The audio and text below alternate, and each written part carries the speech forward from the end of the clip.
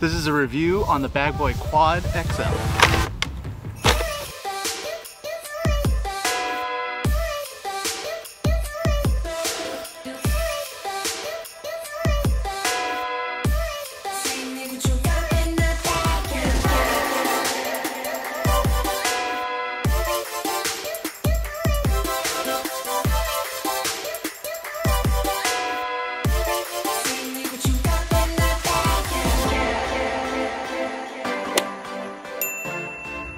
Something really nice about this cart is when I pulled it out of the box, it was just ready to go. No tools, no nothing. You just push it in and go. This is how small and compact, whether it's folded or unfolded, especially when you compare it to my Clicgear Model 4.0. The footprint on this is drastically smaller, just the width, length, and everything about it. Really leery about with this four-wheel cart was actually the four wheels. I thought turning and pivoting was gonna be really challenging with this cart. It does seem like they have the center of gravity a little bit shifted in back, so it actually, the front wheels probably have, I would say, 40% of the weight on it. I was able to really maneuver and turn these pretty easily considering it is four. It also turned a lot sharper than my three wheel due to that shorter wheelbase. So the best feature on this bag is this Top Lok system. I mean, if you have a bag with this system, it's unbelievable. How easy it is just to put your bag in and out. Literally, it just takes seconds to put your bag in there. As you can see here, I shook this thing, I pushed this thing around. I've played a couple rounds of golf with it. Not one issue with this thing moving or coming undone. And it's so easy, you just drop it in there and it's ready to go. I say to go from the back of my car to fully set up with the bag on the cart. It might take 30 seconds to undo the cart and drop this bag in there. There's no better system out there, to be honest with you. So if you do have a bag boy bag or one of these Datrek bags, I believe it's pronounced, I would definitely highly suggest just getting any of these bag boy carts because this feature alone is worth the headaches of the straps and the twisting and turning that, that I deal with on my normal bags. Do you have a bag without the system? Big knock on this, it does just have these Velcro straps on here.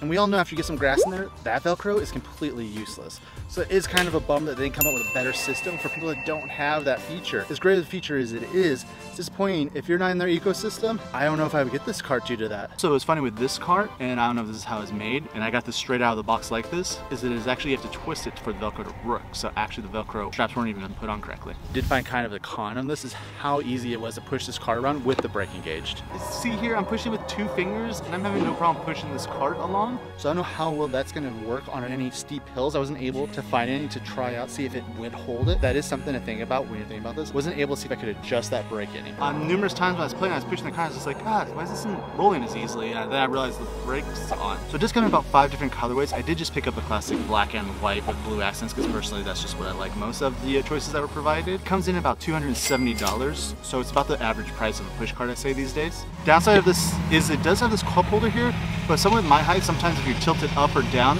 I feel like the drink could spill out. So with one of these large insulated water bottles, and there's no way I was able to fit that in there.